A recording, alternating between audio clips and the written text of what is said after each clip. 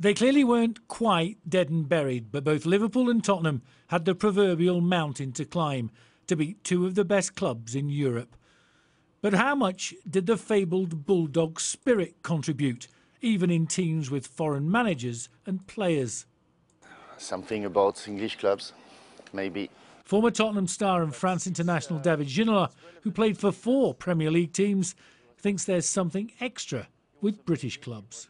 I think this is probably the only place in the world where you can find such things. The will of the players, the passion around, uh, the supporters pushing in the stands. Um, everything is about, okay, it's not over yet.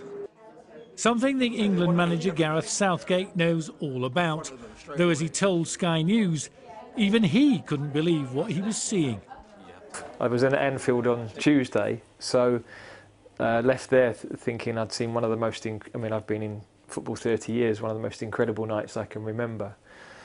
For it then to be backed up by Tottenham on Wednesday was phenomenal. I mean, huge credit to both managers. Um, in different circumstances, they've achieved incredible seasons. But sports psychologist Dr. Josephine Perry says it may be more about what Barcelona and Ajax's players didn't do than what Liverpool and Tottenham's did. If you're feeling quite comfortable and safe with your position, you don't play the same way. So you almost rest on your laurels, you step back a bit, you don't have that, that same energy and enthusiasm. Your activation levels aren't quite as high enough to get into it and to really enjoy it. And so it won't just be that the British sides did brilliantly, but the other sides didn't quite step up as much as they should have. And by the time they realised they were in trouble, it was too late. Too late. There is, though, a sting in the tail.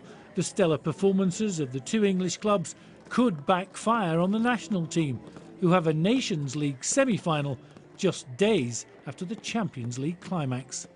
You have great ideas as a manager of planning things and working with the team, and in truth, we'll have half of our squad that won't be with us until three days before. So, um, more complicated, but brilliant for, for the players. And there's food for thought for those who believe success is all about money. Liverpool and Tottenham have at least six teams with deeper pockets than either of them. So who'll win on June the 1st?